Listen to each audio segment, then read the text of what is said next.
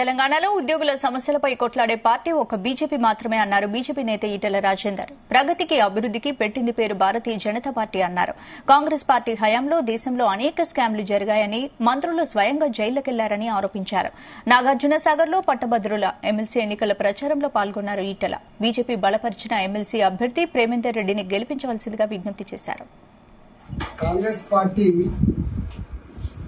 మేము దళితులకి గిరిజనులకి మైనార్టీలకి ఛాంపియన్లమని చెప్పింది.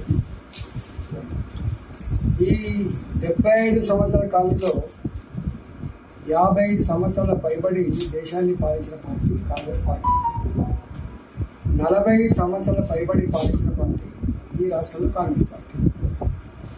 కానీ దళితులకు కానీ గిరిజనులకు కానీ మైనార్టీలకు కానీ ఉరగబెట్టింది ఏం లేదు. మోడీ గారి నాయకత్వంలో ఈ దేశంలో మహిళలకి రాష్ట్ర శాసనసభలో కానీ శాసన మండలిలో కానీ రాజ్యసభలో కానీ రేపు పార్లమెంట్లో కానీ లోక్సభలో కానీ ముప్పై మూడు శాతం రిజర్వేషన్ కల్పించి మహిళలని గుర్తించి గౌరవించినటువంటి పార్టీ కూడా భారతీయ జనతా పార్టీ. ఒకటికి రెండు సార్లు తగ్గించండి మంచైందో చెడైందో మనవాడెవడో మందివాడెవడో ఇప్పుడున్న పరిస్థితుల్లో ఎవరు కావాలో ఆలోచించండి రేవంత్ రెడ్డి గారిని యూనివర్సిటీ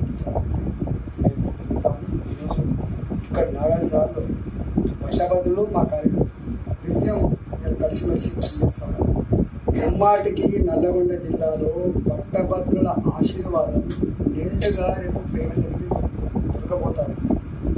మొన్న పార్లమెంట్ ఎన్నికల్లోనే ఆ ఊళ్ళో గురించి ఊహించలేకపోయింది ఈ జిల్లాలో మనకు వస్తాయా ఓట్లు? ఇదంతా కాంగ్రెస్ కల్చర్ అని చెప్పబడే ఈ జిల్లాలో మేము కూడా గెలుస్తామనే స్థాయికి వచ్చిందంటే రేపటి భవిష్యత్తు.